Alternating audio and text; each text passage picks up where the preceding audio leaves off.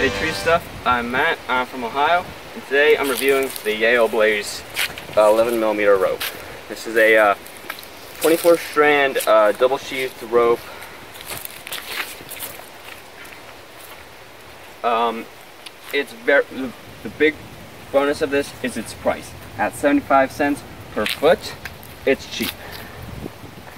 Um, it's, it's not the strongest rope out there, but it still holds 5,400 pounds maximum tensile strength. I think it's maximum tensile strength. That's that's good.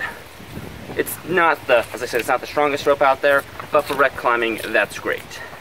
It's high visibility with this orange, yellow, black pattern. Um, I use a double and single rope technique. I haven't had any problems yet, minus standard light fraying. I love it. It's, as I said, big bonus is it's cheap. I wholly recommend getting Yale Blaze if you're a rec climber. I can't tell you what what's good for art, professional arborist work, but for rec climbers, get this rope. It is nice and cheap. Uh, that's my review on the Yale Blaze.